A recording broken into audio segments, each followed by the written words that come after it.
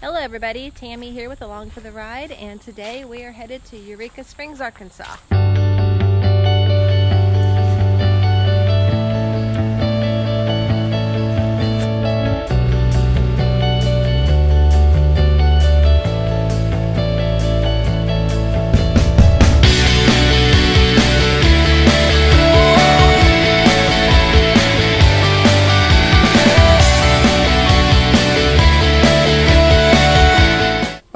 Maxwell?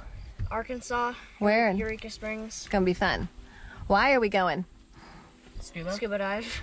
You're not. No, not us. But I'll be next year.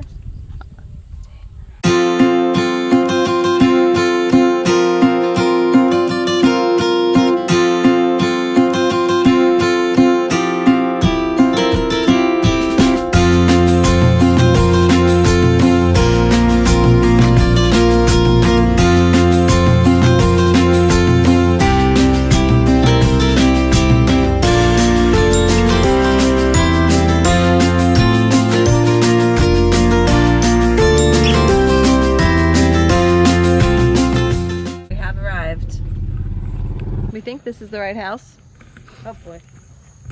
We did an Airbnb. It's chilly in here. Ooh, it's actually kind of nice. I'm Stairs.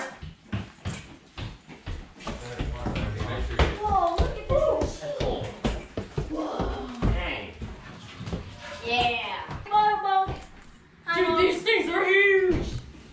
Oh my god, I call this a condo. Yep, I call this bottom bunk mine. Like a condo.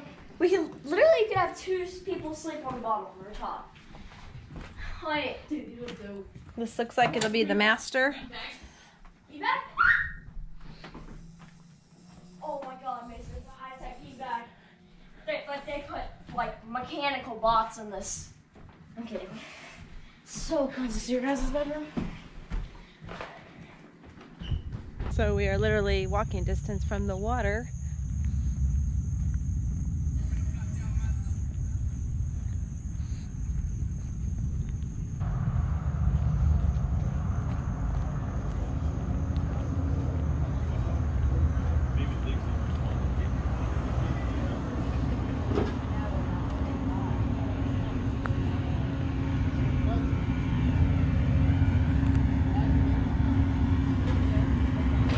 And on the advertisement. Like we're doing a little studying outside because um, the reason we're down here is Mark and Mitchell and Miles are going to be scuba certified. So they are going to take classes the next three days and they dive a minimum of 60 feet, I think, to be certified. So they're, they're going to be tested over the next few days. So they're studying, and that is the whole reason that we are down here at um, Beaver Lake in Arkansas near Eureka Springs. So brought the whole family. Thought we'd make a family trip out of it. So it's going to be fun. We thought we'd take you along for the ride and document some memories. This is a really neat location. If you're interested, um, I can provide the link to the Airbnb that we rented. It's um, Blue Lake Tavern, I think was the name of it. But I can provide a link if you're interested. Beautiful. Absolutely beautiful. Guys, tiptoe my shoes. It won't get the inside until I get farther. Whoa. Okay, I should probably stop here. Dang, that's clear. See, there's no water in my shoes yet.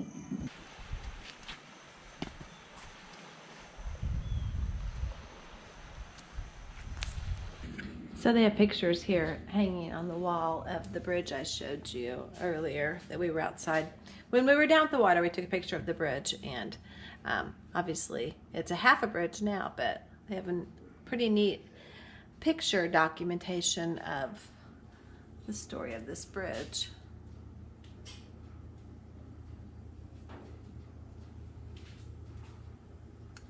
Neat little place here in Eureka Springs. If you ever get to Eureka Springs, I would highly recommend it. We love it. All right, well, they're headed out for their first morning of scuba. How you feel about this, Miles? Hold on, I'm trying to find some. Might be a little nervous. Might be a little nervous. The two scuba newbies. Yeah. And they're off. I think they were a little nervous. They didn't want to admit it, although I think I would be too. So.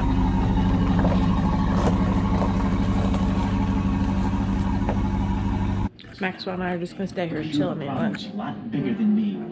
Because I don't want to drive over that one lane bridge. The man is So we thought we would take a ride over to the lake and see if we could somewhat see them get ready to dive, but trees are in the way, so I don't think we will be able to.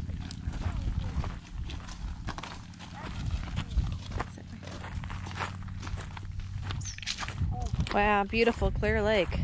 Isn't? Look at that. I'd, I can see it way out there. eh, it's not too chilly. I could sit here for hours and just sit. That was just so clear though. It's What kind of water is it? Blow out of your They had a little break, so Because you we can stopped to take a visit. switch back and forth like this. Pinch where you breathe into your next mouth, and then breathe out through your nose. That way you know you.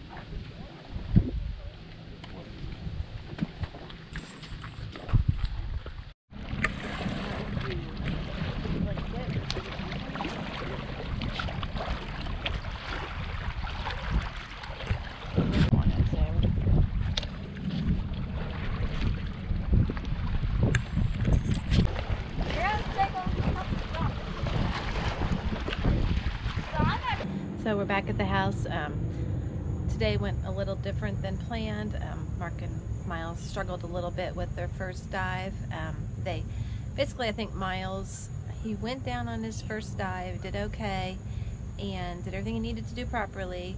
But then, for some reason, um, everything turned sideways and stayed that way. So he properly, um, slowly ascended to the top, but then that made him pretty sick and he wasn't able to continue from that point on so um, he's going to try probably again tomorrow. Mark same way he got down there and i think they went down to 15 feet today. I don't know they'll have to give you some more detail. I'm just kind of giving you my story from what i've gathered. And um, a little bit of struggle with um, i think they have to fill the mask with water and then empty it and stuff like that. So um, it all sounds easy, but when you're actually trying to do it, especially in a lake, it can be a little more challenging than you think. So, okay, so they're back and they're explaining possibly why they're having problems. It has to do with the temperature in the water, and when they're cold, their ears are not releasing the pressure. So, um, let's see if they can explain it to you guys because they've explained it, but I'm not as good as and not as good at explaining it back. So, why do we have a problem today? All right, scuba today for me was a total fail. And me. I never thought you could get motion sickness underwater and ear problems, but you can. How'd you know they did Because, but did the temperature have something to do with it? Maybe. Rewind. The dive master The was dive master saying. was saying that the colder water will cause issues with the ears. Hmm. And that's like, wasn't it 70 degrees? Something contracts in your ears and it's harder to equalize. Yeah, and then who knows what happened to me? What happened to you today, Miles? I don't know. It was like, He's just stupid. yeah, a little bit of that. I'm kidding. Like I couldn't, like I was equalizing, but it just was, it didn't seem to work, and then it just, I don't know. Well, you- even the, my second dive over here, or Yeah. after you left, I came back up out of the water. I was dizzy again. Yeah, and it could just be symptoms of it. It couldn't actually know. be it, but it could replicate it. Because I like literally couldn't even stand up straight for like two hours. Well, a lot of it was nerves. I'll, oh, I'll tell you what, you get down there in that dark, darker water, it's It- all stirred up. It's nerve wracking. I don't know. It was still cool. I had, like, I'll probably just call it good until I can find warmer water and yeah, something different. I still had fish coming up and nibbling on me. That was cool. So, I not you reached guys. out and touched a couple. You're not supposed to do that. Oh boy, yeah you can. I know. I was joking.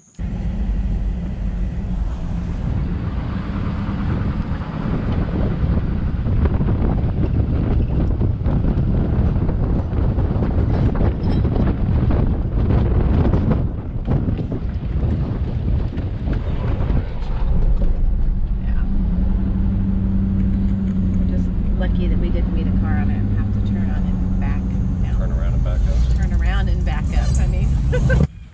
So it turns out Miles had a very successful day today scuba diving. Um, he was able to hit or break 40 feet. So this morning he still wasn't feeling good, didn't want to go. um, considered not going. We pushed him, was like, just go give it a try. Don't go beyond your comfort level. And he went and turned out great. He didn't have any problems. And like I said, he was able to go down to 40 feet. So he was pretty proud of himself and that turned out to be great. They go back tomorrow morning to do some more.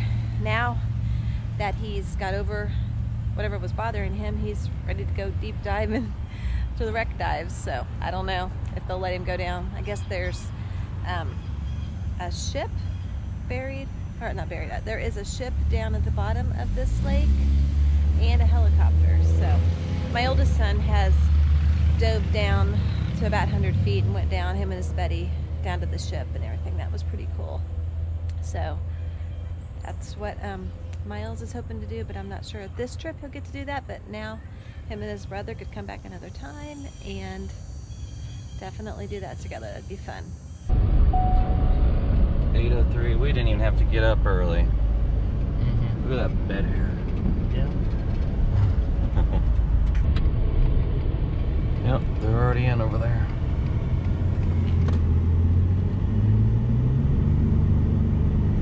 Way out there in the corner so it's cold.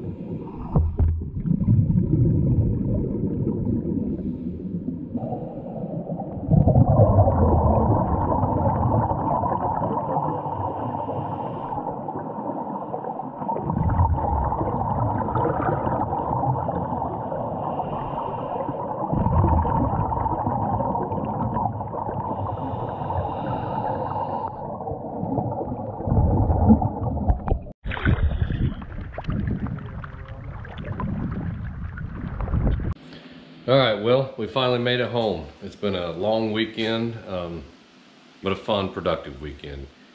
Uh, you know, Miles, he did great. He that first day, uh, he was he went out. He he got sick. I mean, he got motion sickness. I got motion sickness. I mean, who would have thought?